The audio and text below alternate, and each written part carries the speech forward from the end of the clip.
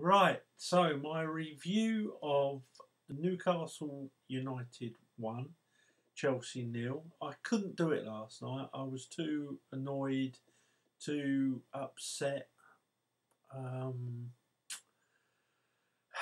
with the result.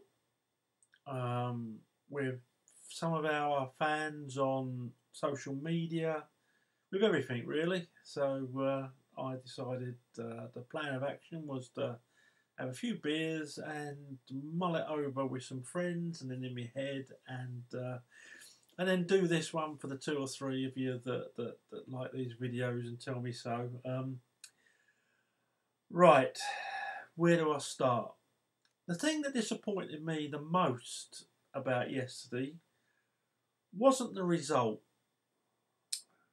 I was disappointed in the result, don't get me wrong. Um, but Newcastle defended. I mean, what we've got to do is give praise where praise is due, and Newcastle defended like you wouldn't believe. They they they were world class in defence yesterday. Um, they stuck to it.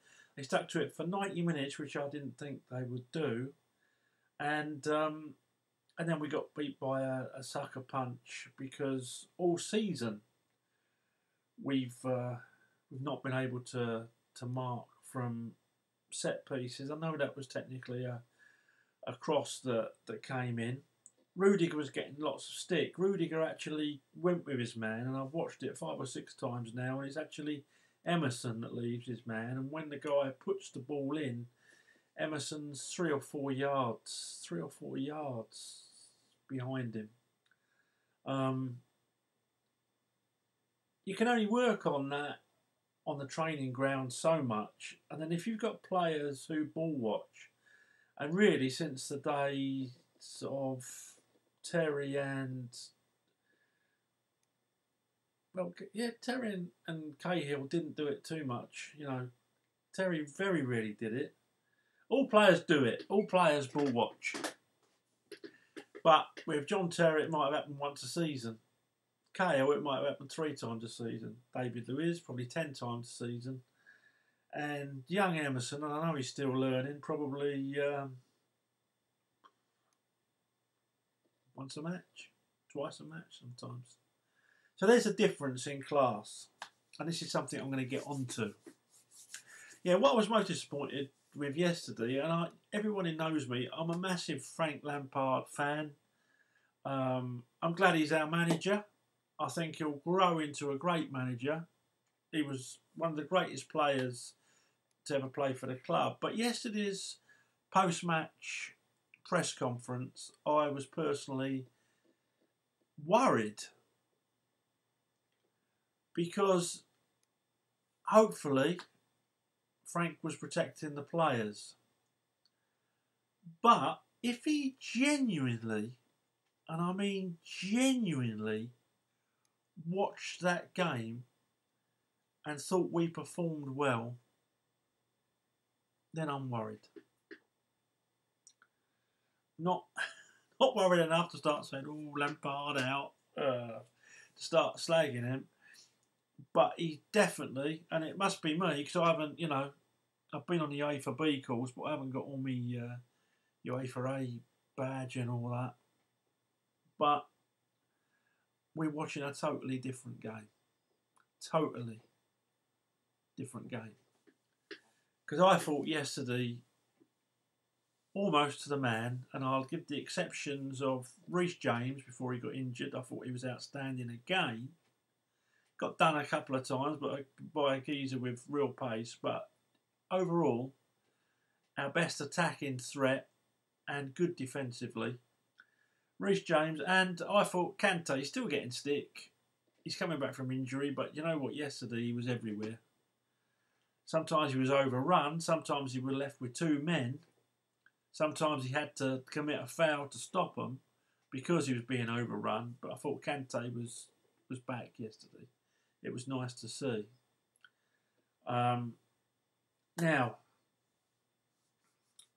our main problem is for the last three or four seasons since the Drogs retired and most of the core since Lamps went, we have had a big, big get out of jail card in Eden Hazard.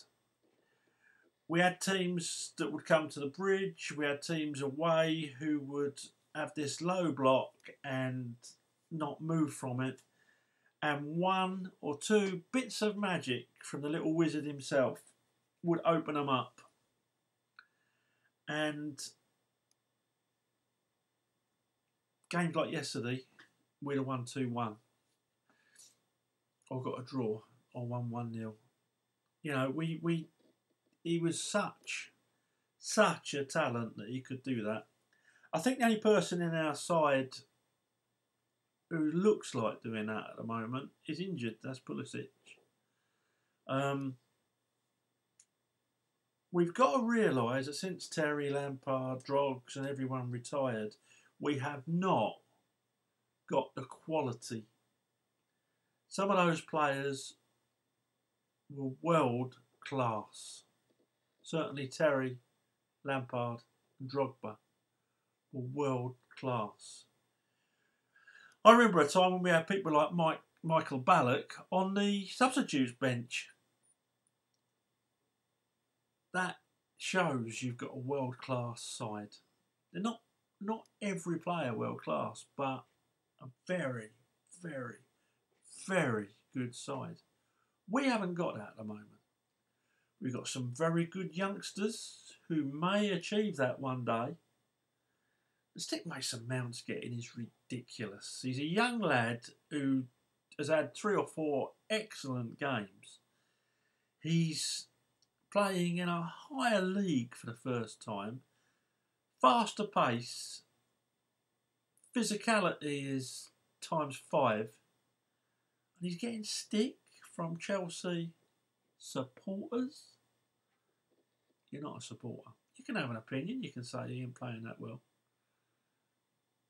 but I just don't understand it.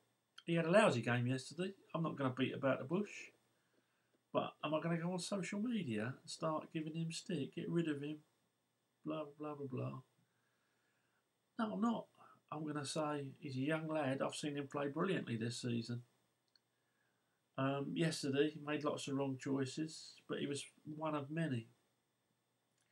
So we, we haven't got that world class quality.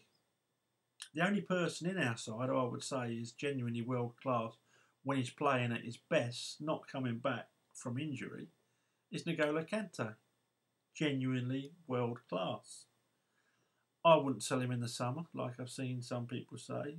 Keep him certainly for another year, while while the youngsters are, are coming through, and hopefully someone will come through that can can play like that, or we'll sign someone a lot younger. But at the moment,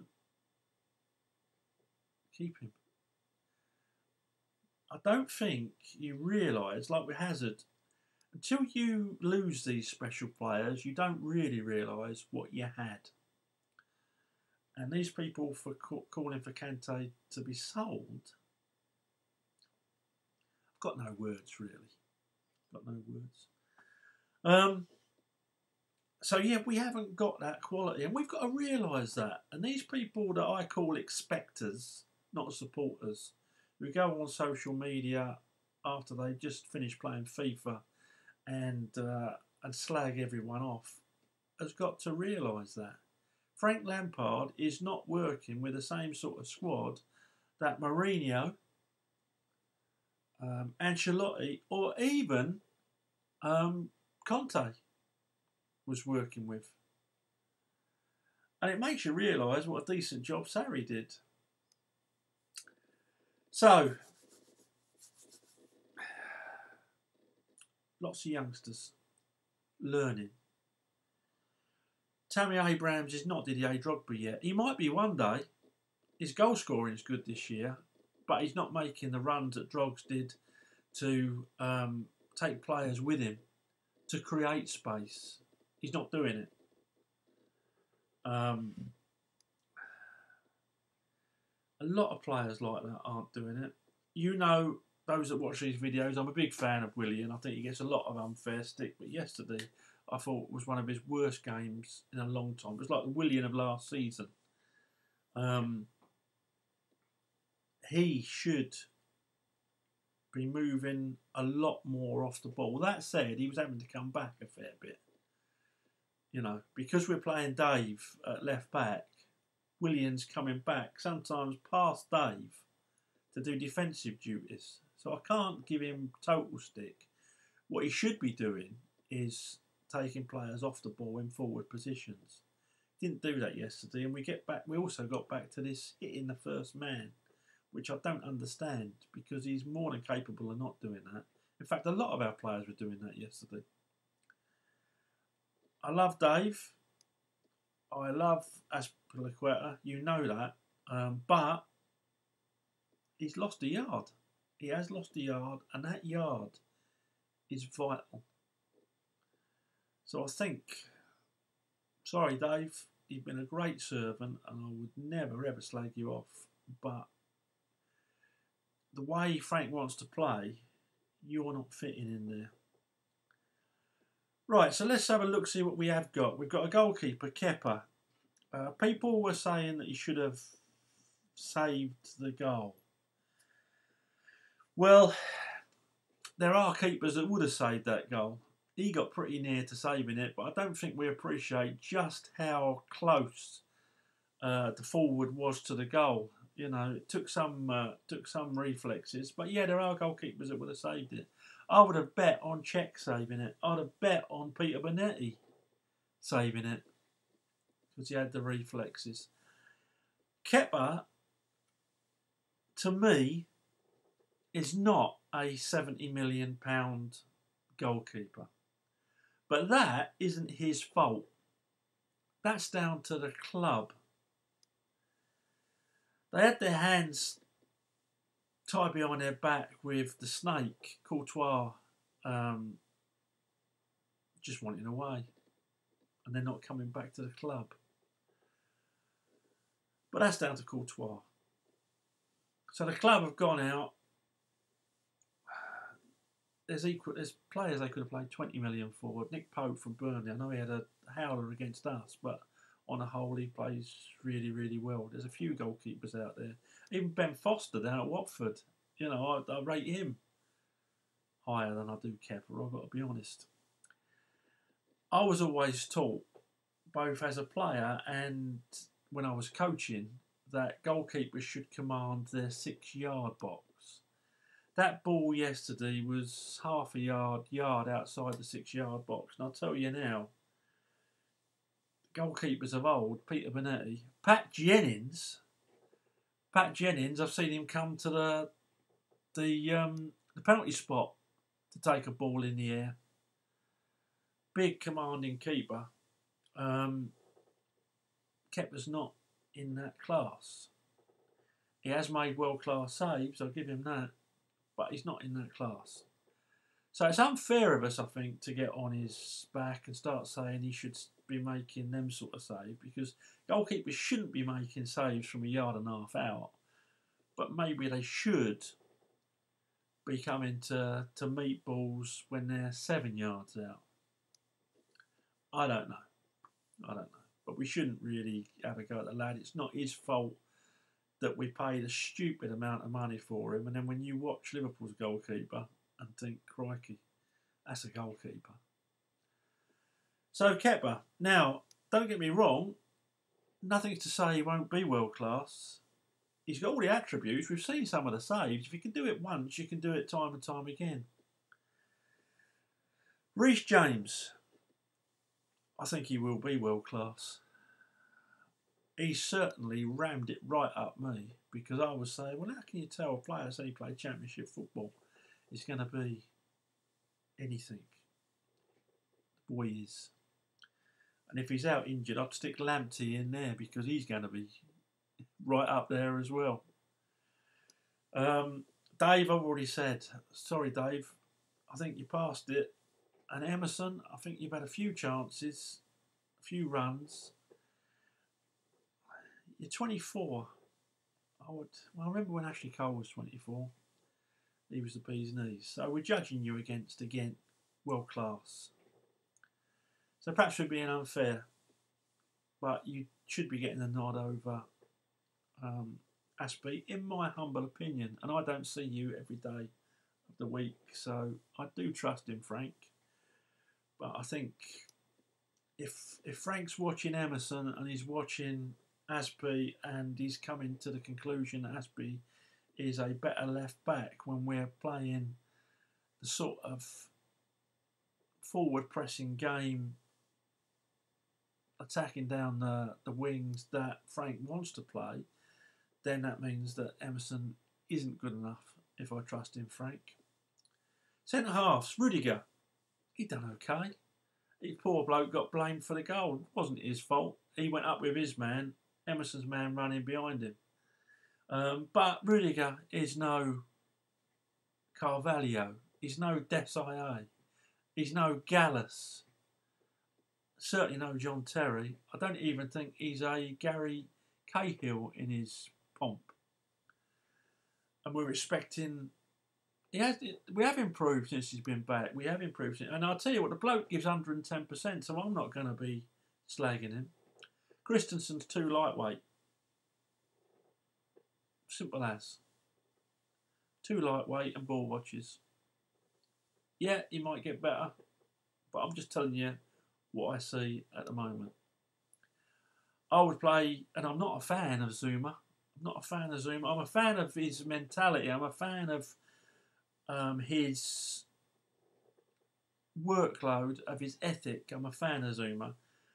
Not a fan of his passing.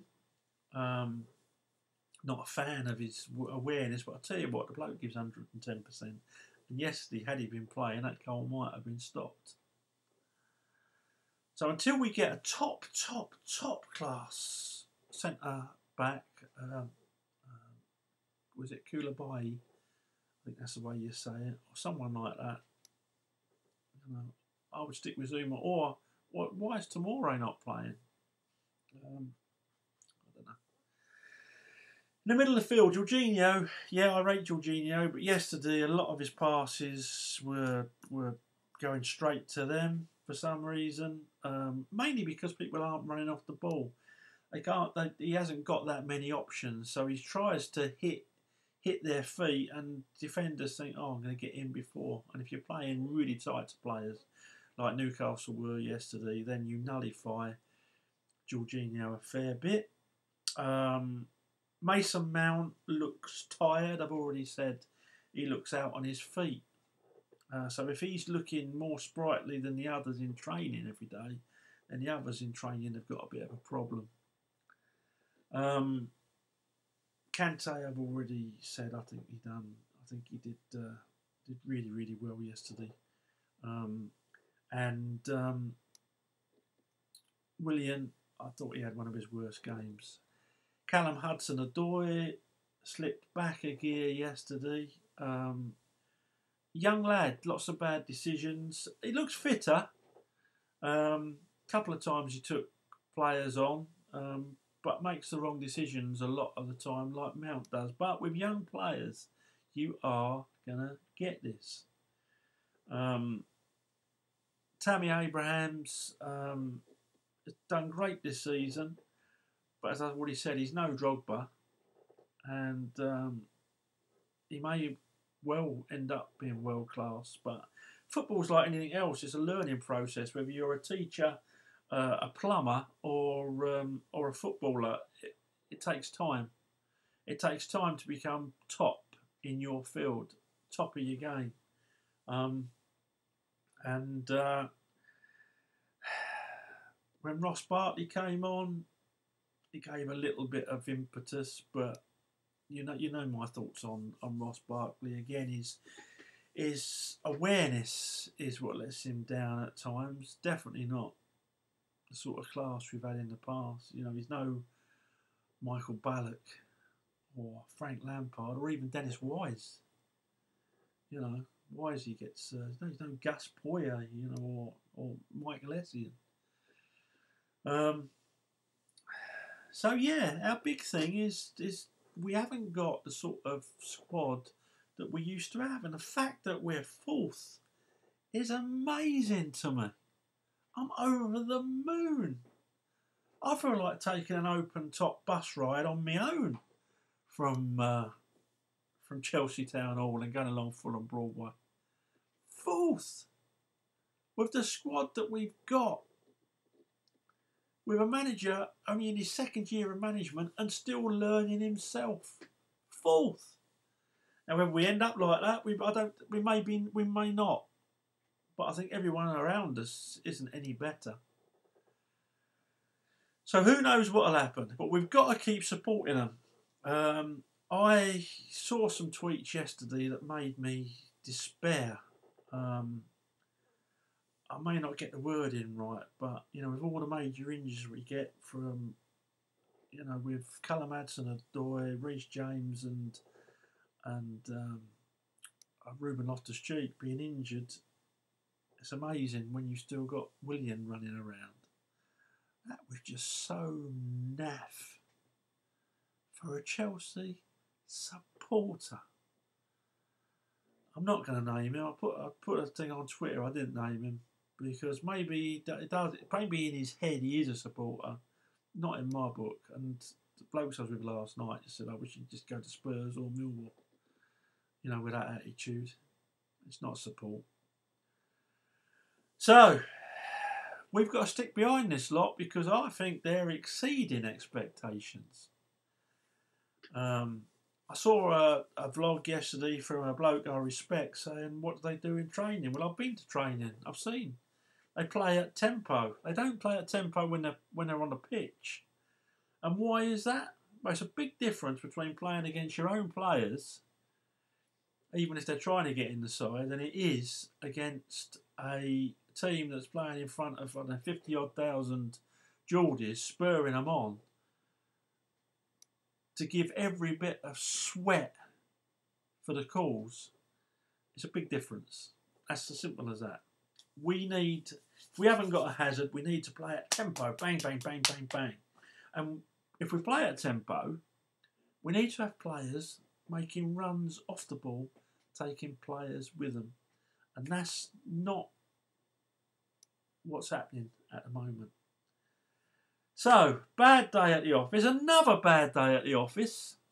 Um, I hope Frank has has learnt a bit every time we've been beaten, and Jody and the rest of the coaching team.